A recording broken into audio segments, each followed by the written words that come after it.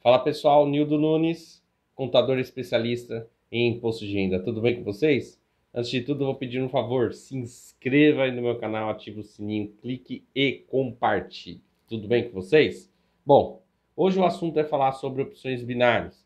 É um assunto que, vamos dizer assim, eu sou é, suspeito em falar porque eu sou um dos traders que mais traders, né? Contadores que mais fala sobre opções binárias, porque é um tema que muitos contadores desconhecem, é um tema que é, as pessoas perguntam: e aí, precisa ou não declarar prejuízo?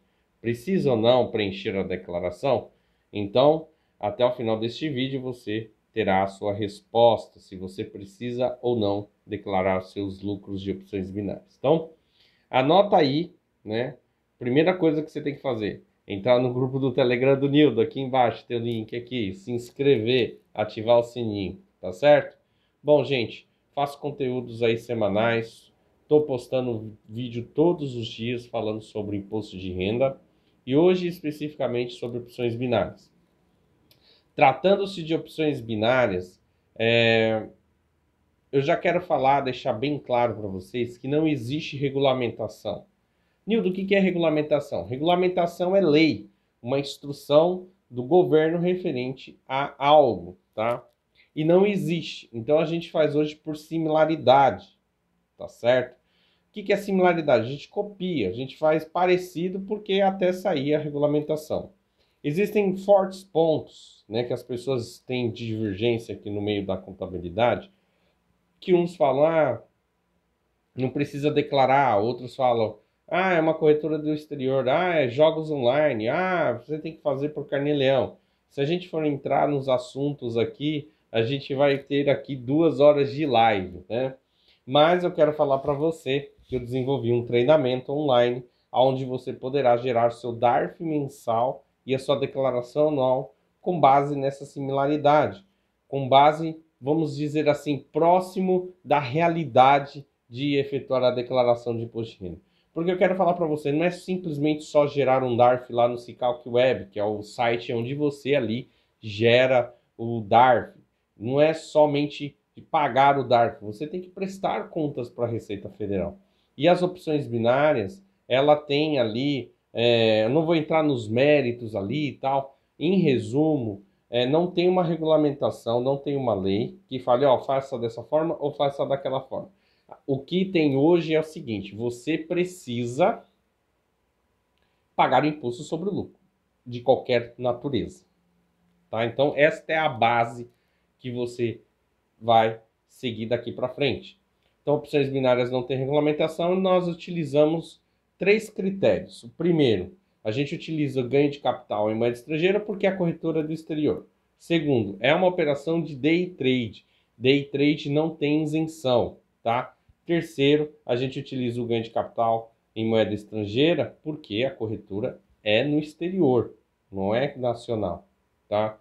Então, é, a gente não utiliza é, as isenções pertinentes que já existem para alguns investimentos, tais como é, a, a, isenção lá que tem no, no, ganho de capital de 35 reais, nós não utilizamos porque entendemos que é um day trade, a sua operação você compra, inicia no mesmo dia, em minutos na verdade, né?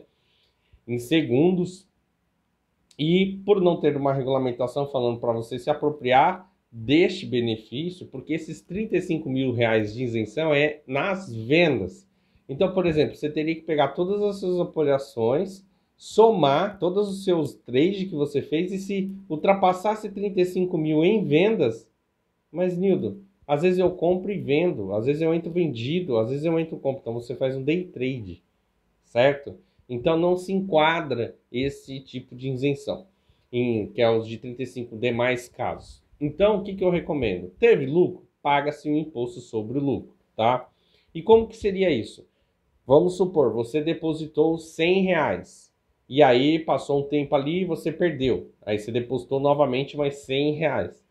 E aí desses 100 reais você fez mil reais. Né? Lá tá lá mil reais na sua banca. Poxa, poxa, tô, tô, tô ganhando muito dinheiro. O que, que eu vou fazer agora? Você vai pegar, você vai sacar este dinheiro. Só que você vai deixar um dinheiro na banca. Então você vai deixar aquele dinheirinho ali na banca e vai continuar operando. Só que este saque que você fez vai ser um valor menor do que você depositou, não, porque você teve um lucro, né? Você depositou 100 e perdeu, depositou mais 100 e teve um lucro. Só que na hora de você apresentar para a Receita Federal sua posição de ganho, você só vai colocar o último depósito que levou você a este lucro. Mas e aquele que eu perdi, não posso compensar? Então, não tem regulamentação para que você possa se apropriar de, deste prejuízo.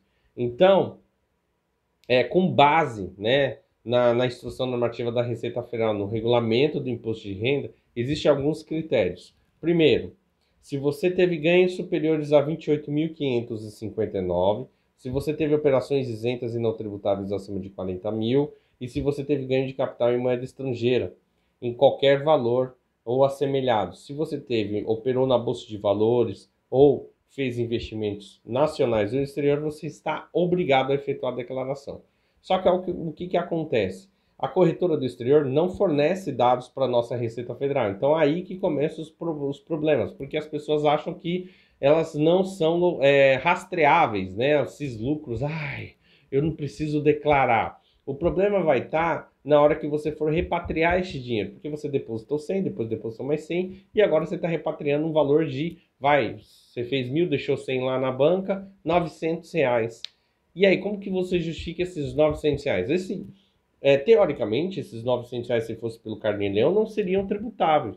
Ah, então vou fazer pelo Carnê-Leão, Nildo. Não, você tem que ter um critério, tá? Então, assim, se você fizer por carnilhão, ele vai somar na sua renda. E se você já trabalha como CLT, ou se você tem um MEI, ou se você já tem uma outra renda, você vai pagar muito mais imposto se você pagar os 15% que é através do ganho de capital. Nildo, mas isso está certo? É errado? Nós estamos, temos a base do regulamento do ICMS, que é 9.580 de 2018, e temos o CMS, né, do regulamento do imposto de renda, né, é 9.580, e temos do ganho de capital, que é a instrução normativa 118/2000, onde fala sobre os ganhos oriundos de moeda estrangeira, que é a corretora do exterior. Então, se você sacar este valor, você tem que preencher o GCAP, preencher ali o seu valor de depósito e o seu valor de saque. Nido, eu faço diversos saques, faço diversos depósitos, sempre perco. Você vai ter que ter um controle disso, tá? Para que você possa demonstrar para a Receita Federal, olha, eu depositei esse dinheiro, estou sacando, estou abatendo este valor que eu depositei e para ter e estou pagando lucro sobre isso. Pronto, acabou, simples assim. E além de você gerar o DARF mensal, você vai precisar efetuar sua declaração anual completa. É isso mesmo, não é só lançar as, as, suas informações dos trades ali que você fez, não, você tem que lançar toda a sua declaração. Então, eu criei dois cursos: um curso específico para opções binárias e um curso completão, onde tem bolsa de valores, trade esportivo, criptomoedas e opções binárias, MEI, CLT, autônomo, enfim, todos os principais investimentos e rendas eu criei nesse completão o link vai estar tá aqui embaixo. Você pode entrar nessa turma, vai estar tá liberada de abril a, de março até abril. Você vai poder adquirir e participar de quatro aulas online, onde você vai poder tirar dúvidas ali ao vivo comigo. É isso mesmo. Já pensou você falar com o seu contador?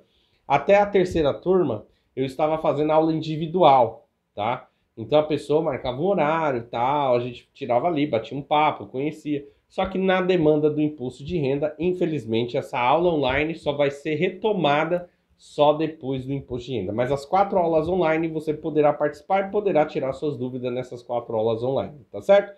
Se você tiver interesse, o link vai estar aqui embaixo. Se inscreva. Nildo, não. Ixi, meu. Quero te contratar, não sei fazer essa declaração. Tem meu WhatsApp aqui embaixo, entre em contato. Não deixe de efetuar essa declaração, porque você pode pagar multa se seu CPF ser bloqueado por não efetuar sua declaração de imposto.